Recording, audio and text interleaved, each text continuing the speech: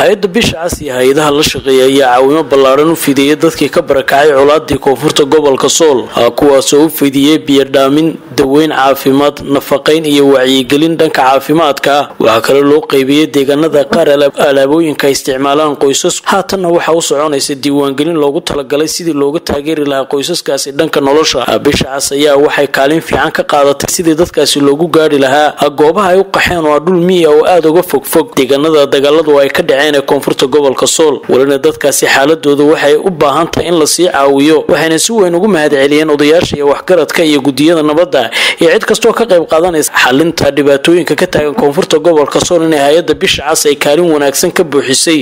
Sidii dadkaasi loo caawin lahaa waxayna si weyn ugu mahad celiyeen gudoomiyaha hay'adda bisha cas ee gobolka sool iyo hay'adaha guud ahaan la shaqeeya hay'adda bisha cas.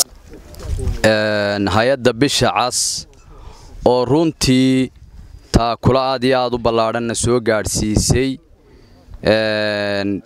dhammaan deegaamada laga barakacay oo kow ay ka tahay biyihii caafimaadkii iyo waxyaabo badan oo kale.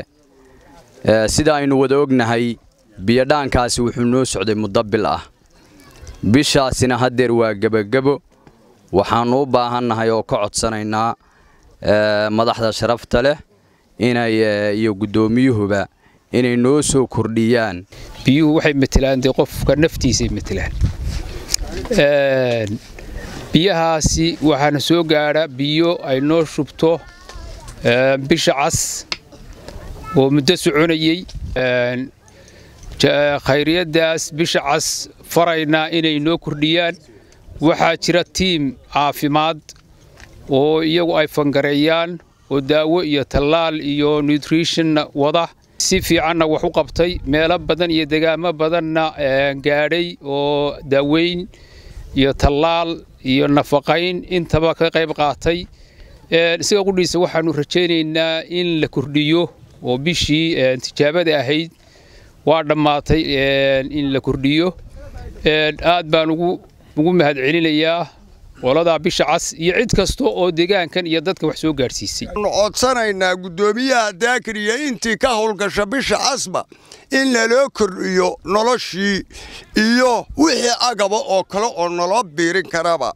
In laloo kordhiyaa rabnaa assalaamu calaykum. Intii hay'adda bisha cas waa hay'adaha sida mutadawacnimada ale uga shaqeeya deegaamadan ay ku sugan yihiin dadka badan ee barakacayaasha. Marka kolley intaan ka warqabno hadda saddex fays oo kolley isku xigay baan xusuusnahay. Fays koowaad wuxuu ahaa daaweyn. Dadkii u soo qaxay bariga dharkayn iyo bariga dabataag iyo bariga dhumay. Goobaha ay ku kala sugnaayeen aad iyo aad qiimeyn ule ay u gaadhsiiyeen dawo.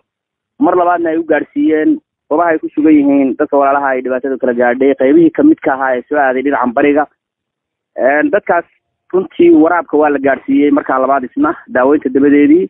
Haddana waxaa la saweeyey diiwaangelin aad u ballaadhan oo runtii goob walba loogu tegey meeshii ay toban qof joogtay tobankiiba loogu tegey goob kastoo ay yimaadeen barakacayaashu geed hoostii bay ugu wada tagtay dadka. Marka ugu horreysa haddii aan maanta waxaan dareemi karaen hadday imaan lahaayeen horta waxaan u qaban lahayn xaflad aan ku guddoonsiino.